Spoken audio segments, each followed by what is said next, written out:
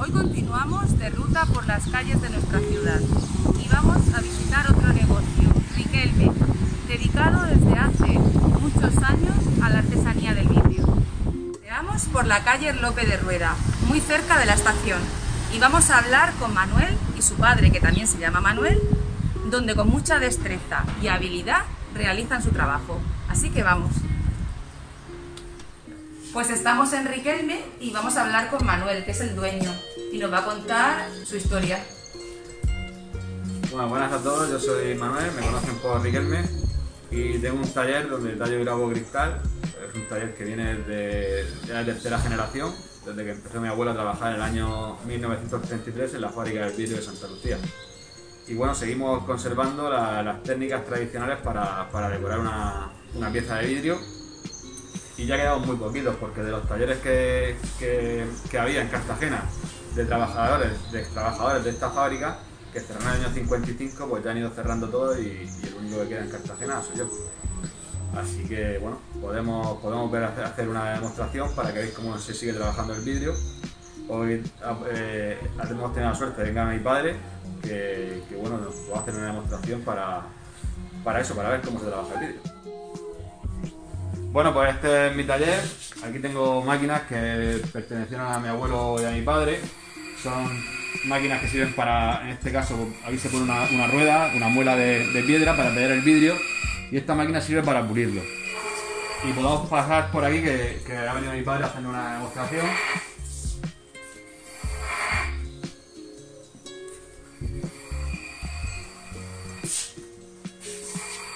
Y ya os puedo dejar con él y si os puede contar algún poquito más de la historia que, que tenemos en, esa- en, en nuestro taller.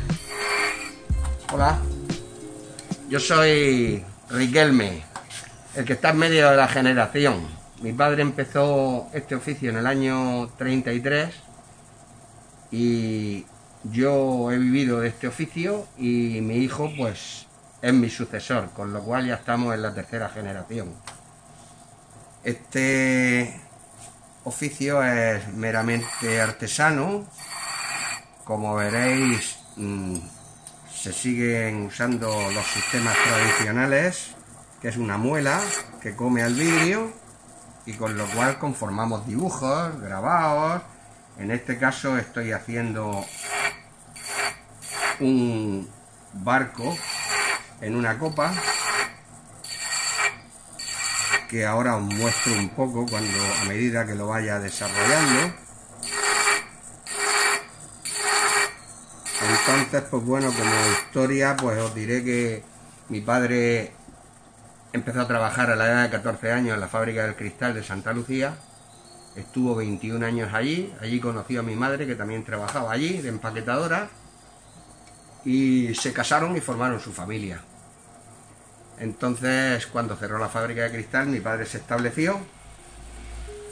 Mi padre se estableció por su cuenta, eso fue en el año 55 y bueno, pues a partir de ahí yo a la edad de nueve años, al mismo tiempo que estudiaba, pues le ayudaba a mi padre. Fui aprendiendo el oficio y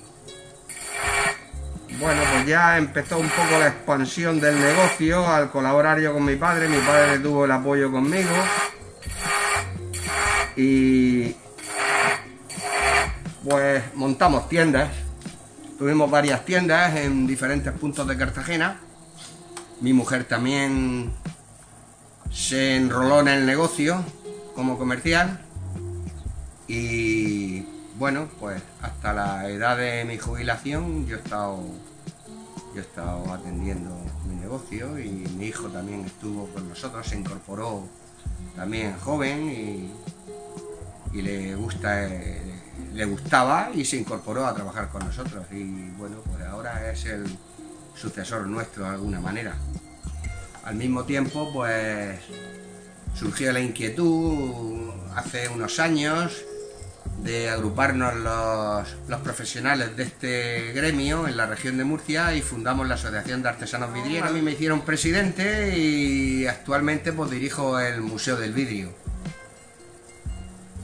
Con lo cual, pues pretendemos que estos oficios no se pierdan, recuperar un poco la tradición que hubo en el siglo pasado, que hubieron muchos talleres en Cartagena, y de alguna manera, pues,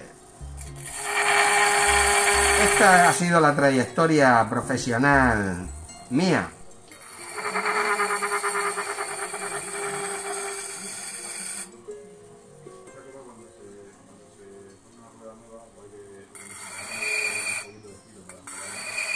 Pues a medida que vamos hablando, estoy terminando el trabajo que empezó en esta copa, que es un galeón antiguo.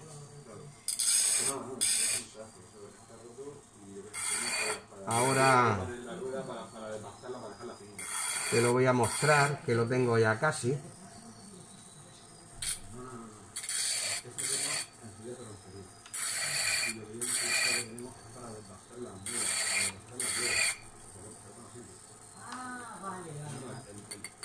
Estoy haciendo algunos detallitos, ya, ya lo tengo casi.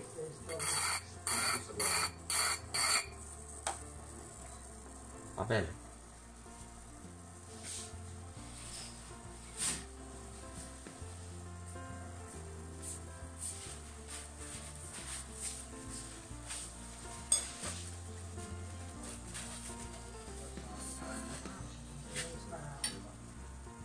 Así queda el trabajo terminado. ¿Mm?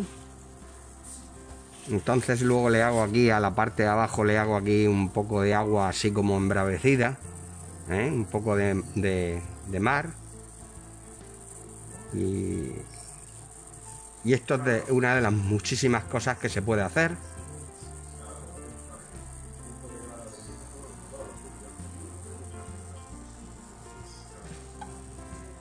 Una vez terminado el galeón, pues ahora le hago aquí un remate al final, que es el agua. Como si el agua estuviera brava.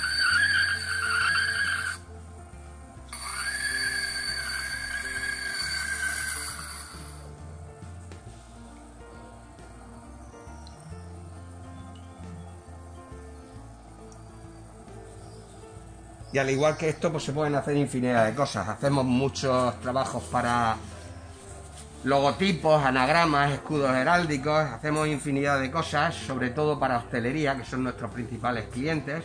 Luego también atendemos trabajos al público de tipo eh, bodas, eh, comuniones, en fin, celebraciones de aniversarios y cosas así, que hacemos muchísimas copas de cantadores eh, con nombres, con, con logotipos comerciales, en fin, hacemos, hacemos muchas cosas. Y la maquinaria que usamos es el mismo sistema que se usaba a partir de que se inventó el motor. Eh, ha cambiado un poco la herramienta, pero digamos el proceso es el mismo, una rueda que gira y le come al cristal.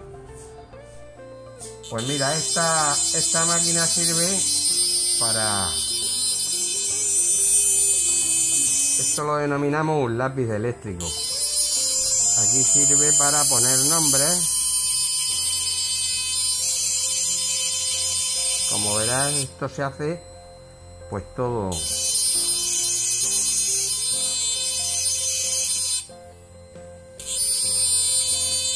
a pulso.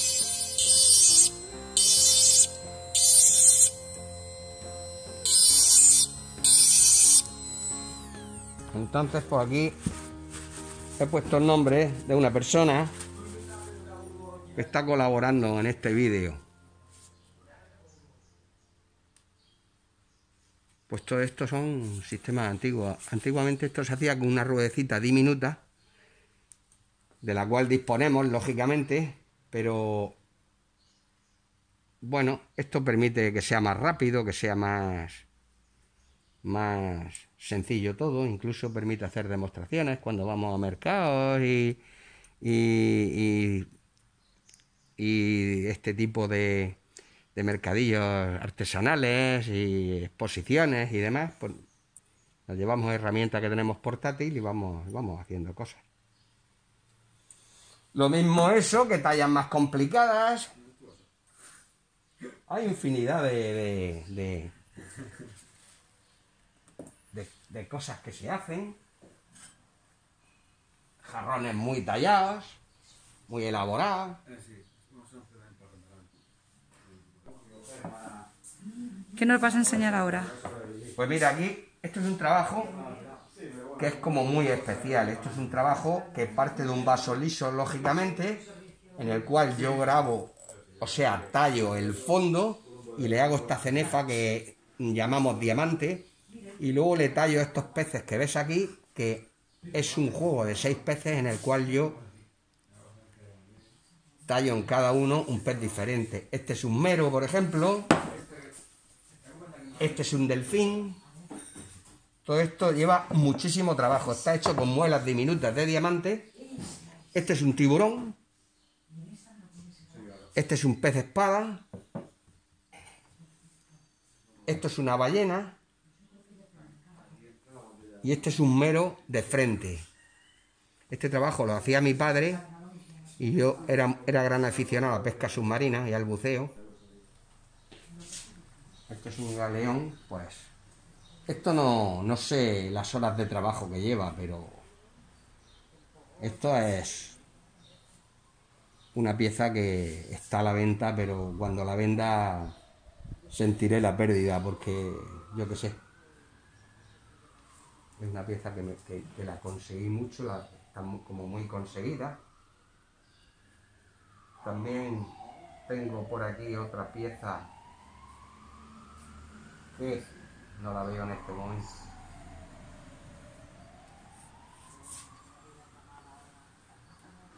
Vamos, porque son piezas que se salen de, de lo habitual, son piezas especiales, vaya, en la cual te sientes con ganas de hacer algo que llevas en mente y bueno, y le echas las horas que, que, que necesites, sin ningún problema de, pensar lo que va a costar. Simplemente lo ejecutas y, bueno, es la satisfacción pues, del trabajo de este tipo.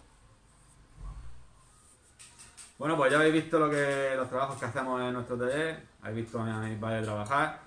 Eh, bueno, con este tipo de, vídeos intentamos también que se aprenda un poco a, a la gente que llegue, que aprenda a, valorar el trabajo hecho a mano, que, muchas veces tenemos la, tenemos la necesidad, todos tenemos la necesidad de tener buen, buen equipo de música, tanto de televisión o una última, la última consola que ha salido en casa, pero que también tengamos ese, ese, ese romanticismo o esa sensibilidad para tener una, una buena pieza de, de vidrio chamán en casa. Ya no solamente de vidrio, sino cualquier pieza artesana que, igual que aprendemos a valorar las nuevas tecnologías, que, que sepamos valorar el, trabajo hecho a mano y que, y que querramos tener una pieza al lado de nuestra tele grande, por ejemplo, una, un buen jarrón o una buena, buena pieza de vidrio de hecha y tallada a mano.